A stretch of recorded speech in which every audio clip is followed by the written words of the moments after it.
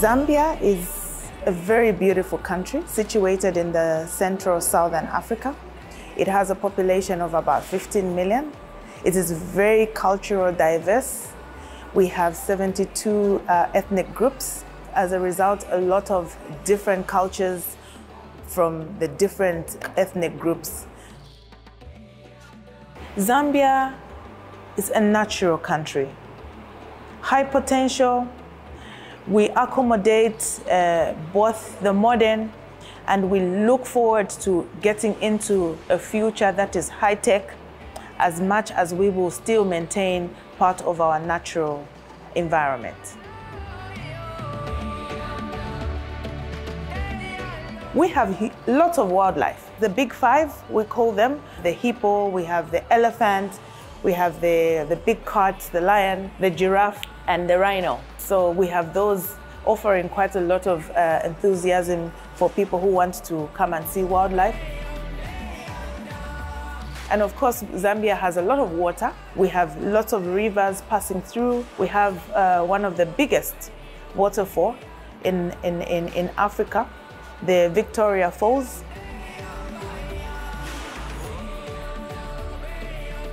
We sure Zambia has a lot of resources, natural resources, and among the natural resources we have is wood.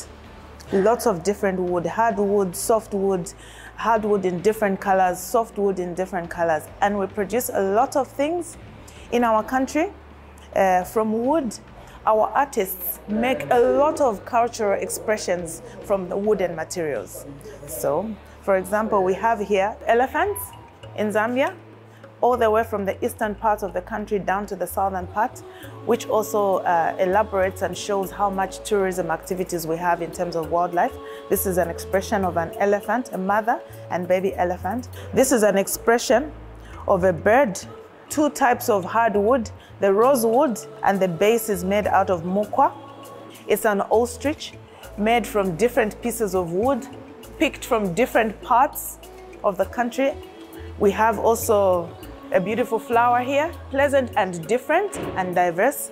You will see different pieces of wood. We have the red wood and we have the, the light colored hardwood and we have in the middle there soft wood.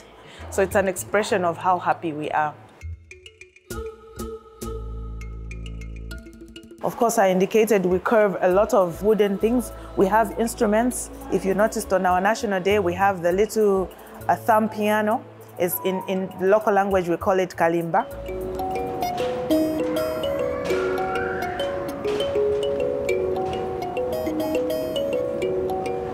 My name's uh, Edward Mwanza. I've been playing it for years now. I learned it from my father. This one I made it myself. So this is wood. Mostly I use rosewood because it's strong and when you put some keys, they need to stay where it's very strong, not any other wood. And this, this one is a calabash. We use goat skin to put it on top so that it cushions the kalimba when it stays there. And it, it acts as an amplifier. When I remove it, the sound will be lower.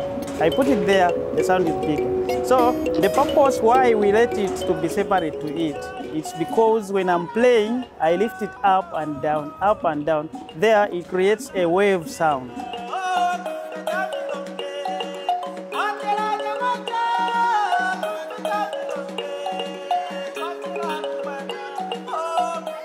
And we have a lot of cultural uh, activities that resolve, revolve around wood. Drumming instruments and playing instruments in wood.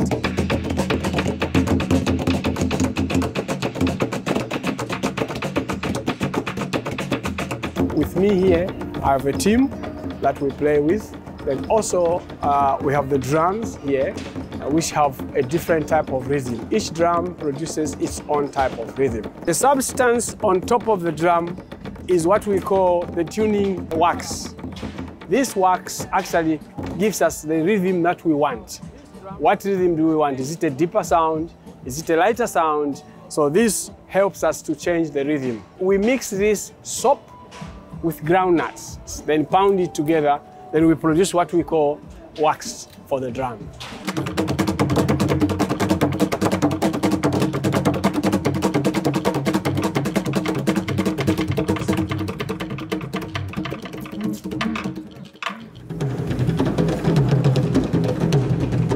This is a traditional ceremony which is mostly found in the northwestern part of the country. We have different masked dancers and those are done uh, during traditional ceremonies. And we have this one which is called, um, it's normally in bright colors. They call it a healing dance.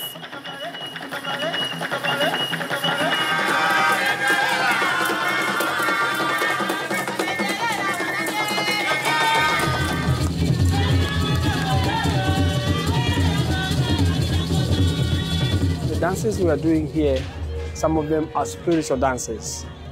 Like the Riala, this one who puts on the skin, puts on the skin here, and then he puts on uh, the flared skate, which has all this stuff that when he moves, they are also flying out. It's a spiritual dance. He doesn't just perform, but when he performs, he makes sure that most of the people, you know, around feel free, they are relaxed. So the other stuff here, which we put here, are called rattles. They are wooden rattles. Uh, we pick them from the bush, put small stones inside. Our music performance was mostly meant to show how we have managed to bring the traditional into contemporary and then also how we have maintained the traditional music.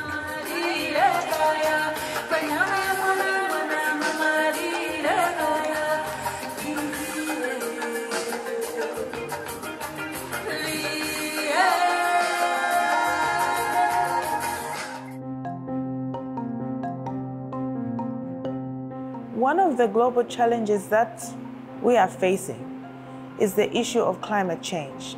What we have noticed so far is that the seasons are shifting. We have longer dry spells compared to what we used to have before. For Zambia, we have a lot of woodland area, a lot of natural trees. To participate in creating a solution to the global warming situation, Zambia is engaged in conservation of the areas that are reserved for forest, and it is also engaged in encouraging people to, to undertake good practice uh, agriculture methods. Uh, our country is mostly agriculture reliant. We encourage people to get back to the more conservative or conservation kind of farming.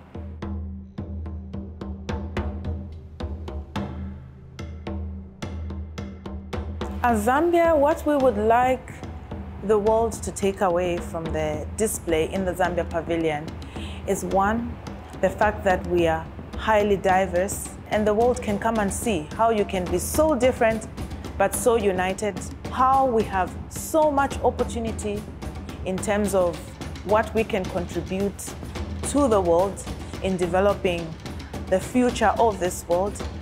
So everybody, come to Zambia. Zambia is waiting for you. It's a land of peace and opportunities. Oh,